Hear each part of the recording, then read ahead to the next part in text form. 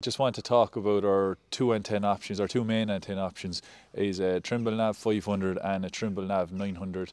Um, previously, we would have had the AG 25, AG 15s. Uh, we've patch antennas on the EZ-Guide 250, things like that. But these are the two main antennas we're using now. Um, I suppose the main difference between the two is the different correction options and the accuracies that you can um, get with each antenna. With a Nav 500 we, we generally use SBAS. If someone is running on autonomous, you're using sub-meter, it's going to drift. It's not going to be as good. Using SBAS, you're locking yourself down to a satellite and you'll run at 8 inches. We can also use viewpoint, that'll bring you down to 6 inches. Um, one thing to look at whenever you're picking correction options is the convergence times. So SBAS is a four minutes convergence time, viewpoint is three minutes. That's just how long it takes for it to find the satellite and get you full signal. Um, so that's the Nav 500 option.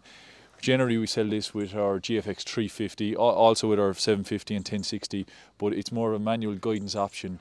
Um, when you're when you're going manual guidance, you don't need the highest accuracies, but if you're using implement control through that manual guidance, then it's more important because your latencies for shutting on and off your sprayer or shutting on and off your spreader, they're all uh, dictated by how accurate your antenna is. So the higher accuracy you have, the better, the more accurate you'll be with your spreader and your sprayer shutting off. So that's what that's when it becomes more important to have higher accuracy.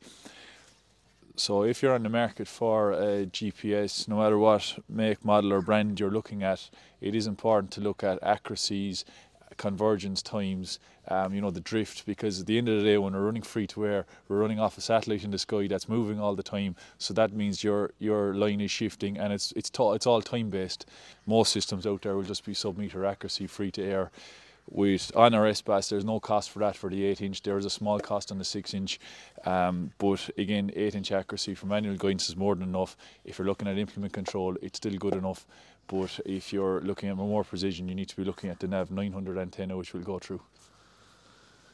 So our NAV 900 is our other antenna option. Uh, we mainly aim this when people are auto steer or heading towards auto steer. Um, the main difference on, in the NAV 900 over the NAV 500 is everything is built in in the one unit. With a NAV 500, if you want to auto steer a NAV 500, we have to fit what's called uh, an IMU. It's a little box that bolts on the front axle, um, which has your gyroscopes for slopes and things like that, um, whereas it's all built into the NAV 900. Um, we have different correction options available for the NAV 900 to bring your precision right down. So range point is quite popular. Um, people sowing grain, things like that, looking for a bit more accuracy. We can run three inch accuracy on range point subscription.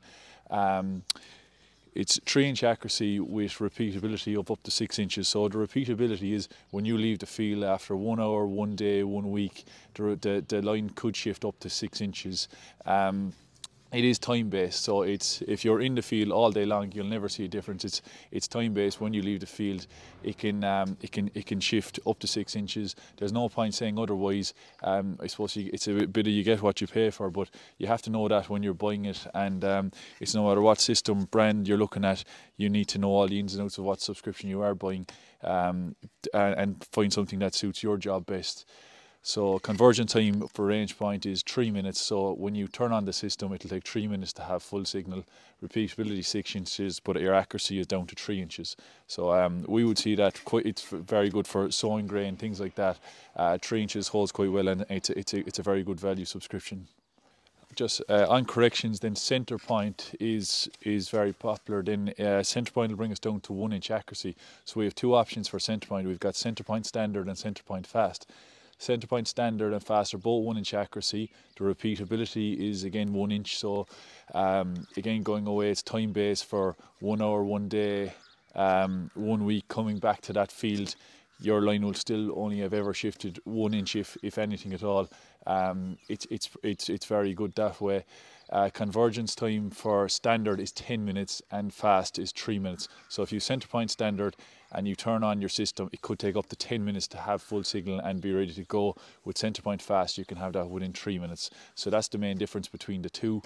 Um, again, we we have sold it out of the box um, with a new Nav 900 antenna for the first 12 months, and after 12 months, you then need to choose your subscription.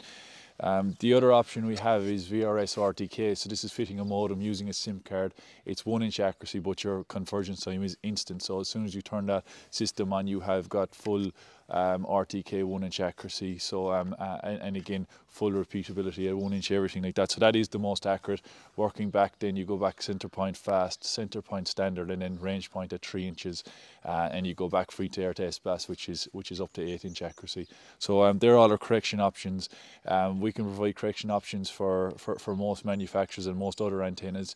So um, just get in touch if you have if, if you need a subscription or you need um, you, you want to buy a, a, a plan from us and we can um, we can provide that uh, not just for Trimble but for other makes Case, New Holland, Fendt, you know Valtra, all the rest just just get in touch if you would like a subscription and we can give you a quote and uh, uh, and we can look after your subscriptions for you.